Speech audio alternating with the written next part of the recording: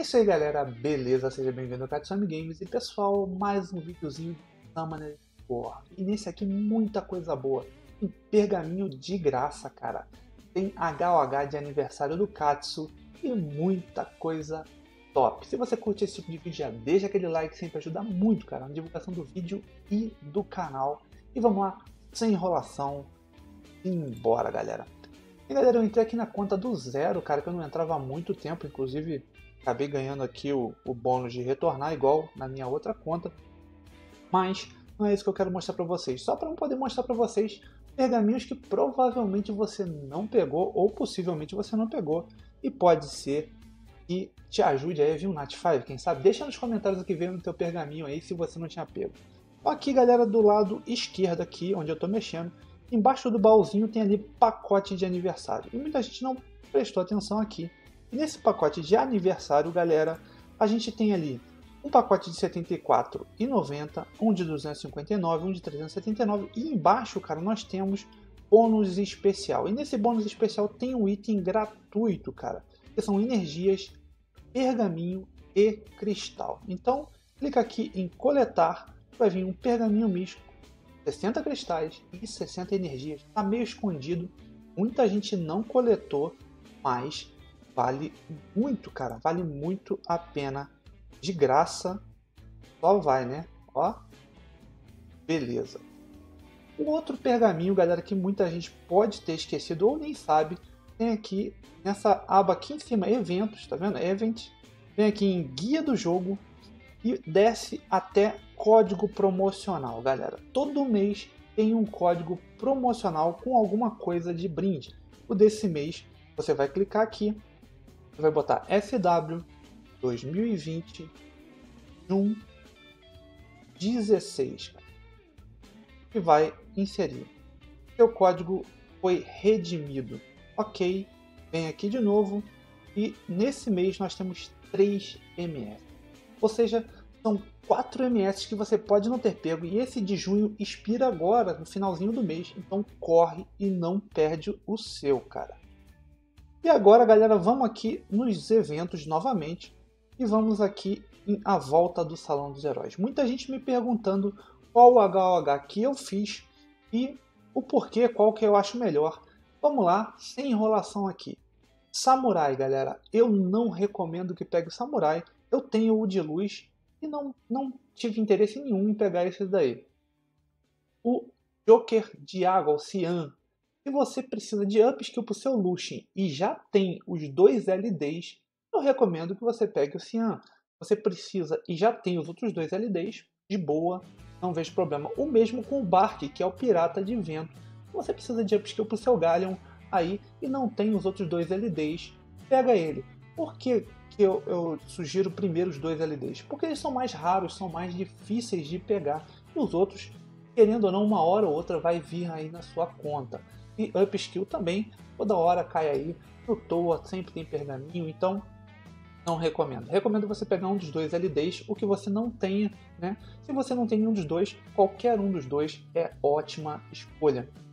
O Kobold Bomber de escuridão é um excelente stripper, ele ainda dá ali, é, se não me engano, ele bloqueia as skills do adversário também, que é muito interessante. E o Gemini é um stripper que ainda deixa um Death Break top de linha. Então, galera, eu vou mostrar para vocês aí. Eu escolhi o Gemini. vou deixar para vocês o meu time e minhas runas na sequência.